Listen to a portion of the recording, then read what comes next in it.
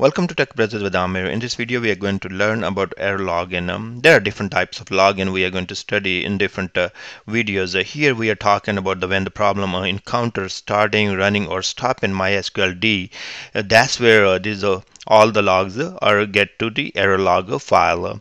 Uh, in this video what I'm going to do I'm going to divide this into two parts so, so um, we will do in the same way, one video but just uh, two different uh, portions of it. First of all we will discuss error logging for MySQL installed on Windows machine and then uh, we will discuss error log for MySQL installed on a Linux box. so let's go to Windows machine uh, where we have installed our um, MySQL server and I'm going to go to services first and show you uh, what services we have here.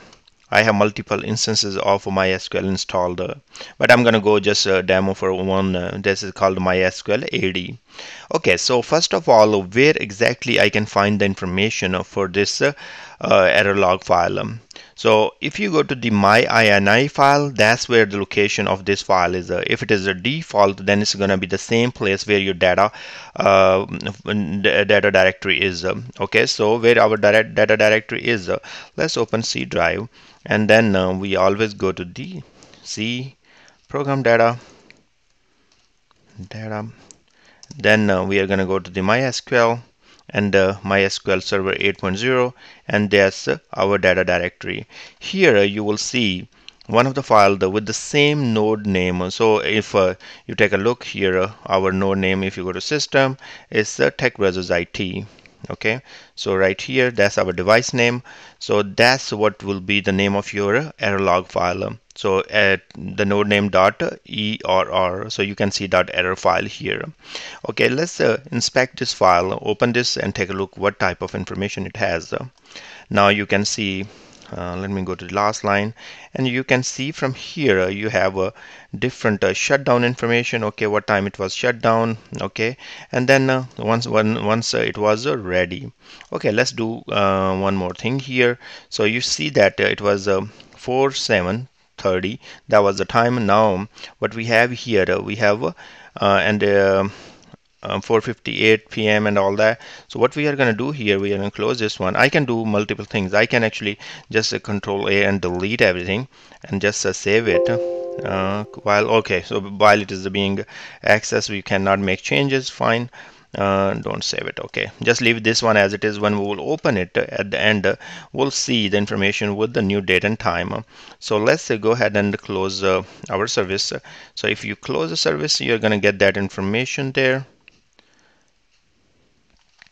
all right so we go back to the file and uh, here is our file. And you see that the size has changed. It was a 11 KB but now it is a 12 KB. It uh, let's see right here. And you can see that uh, 658 so that's the time on this uh, machine. And uh, you can see that um, shutdown happened right there. Okay so right there so shutdown any information to shutdown restart uh, or um, uh, start uh, that's gonna be happening in uh, this uh, log file. Okay great. If we will go ahead and restart our uh, service again mysql AD if I will start then uh, there should be another record in this uh, file. So if you need to know what time your services were started or stopped and all that you can always go to this uh, error file so error log file here you can see that uh, now it was uh, stopped here on 58 and then it started here. So you can see right here. So it is ready for connections. So you can see all those information right there. So that's good. And now what we need to do in case uh, you need to know the error log uh, file uh, location that's uh, one of the things like okay right now what you have here you have uh, at the default location. So you have in the data directory okay? But there could be possibility you are uh, writing your logs to different location. Um, so what will you need to do? You need to go to the myini file on the windows right click here and say edit and uh, look for the error log. So let's go further down and here is uh, uh, you will find that information. I'm trying to find it quickly for you. So let's see. Okay right here. So it's a error log and then uh, you have tech brothers it dot error err okay. Now it doesn't say c drive d drive or any drive here because it is writing to the data directory default data directory but you can always change it. If you want to change it to C maybe something else like data or maybe uh, E drive or whatever. So you can always go ahead and update this one. So totally dependent on you.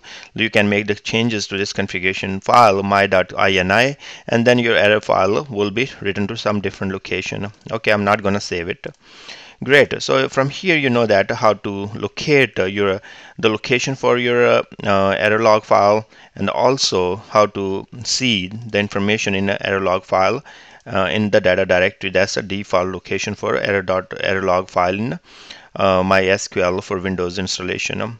Now let's go to the our Linux installation. So I'm gonna go ahead and close it just to let you guys know I have Linux uh, box on which I have installed uh, MySQL server. So that's the Tech Brothers IT node 1. That's the name of my host. That's where I have installed the MySQL server. I'm going to make it bold and italic so you can see that. And here open, provide the username and password. Okay. I'm going to make it uh, super user so we don't have to type again and again all those permission things. Okay so what you are looking here uh, your all the configuration information is saved in etc dot, uh, uh, my, uh, backslash my dot config.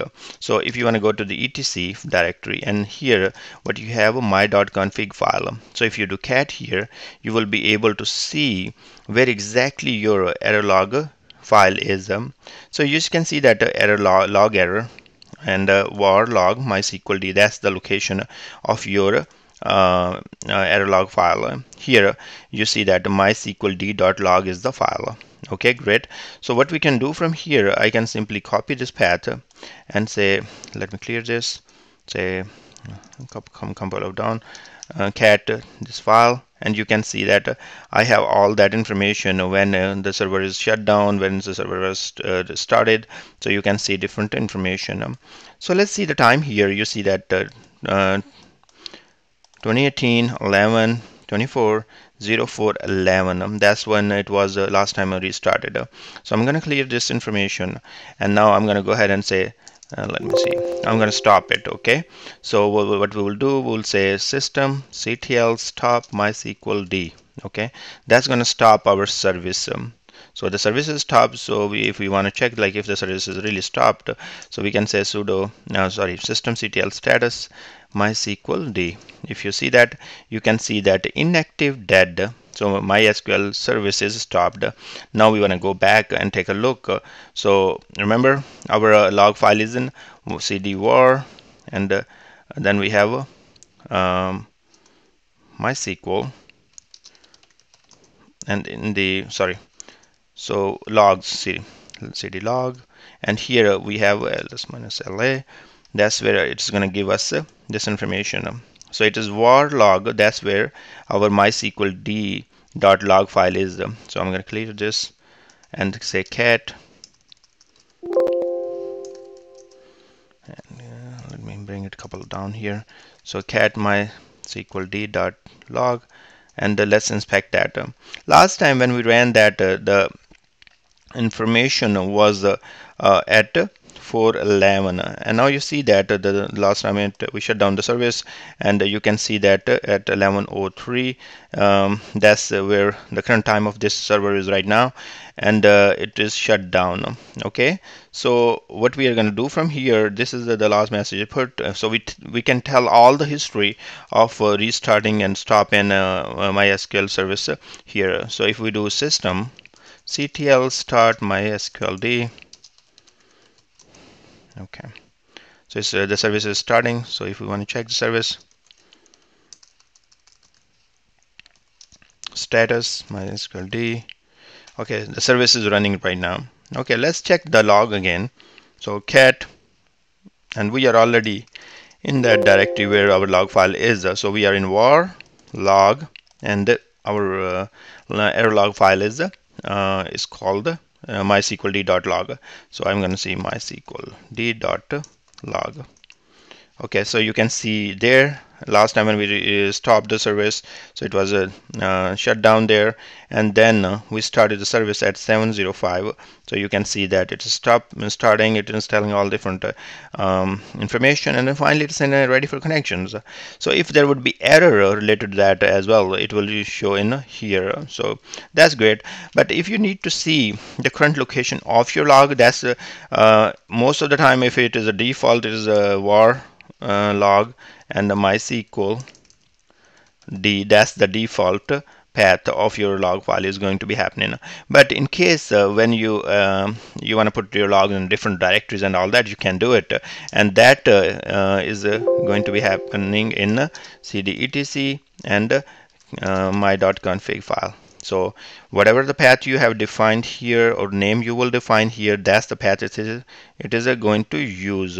Okay great so from now I'm uh, in this video you learn how to um, check uh, the location of your MySQL uh, error log file in uh, Windows and in uh, Linux as well and how to read the logs and we did perform a small demo where we stop and start the service and uh, learn how to check the information in the log error log file for MySQL on different machines. thanks very much for watching this video and I hope this video will help.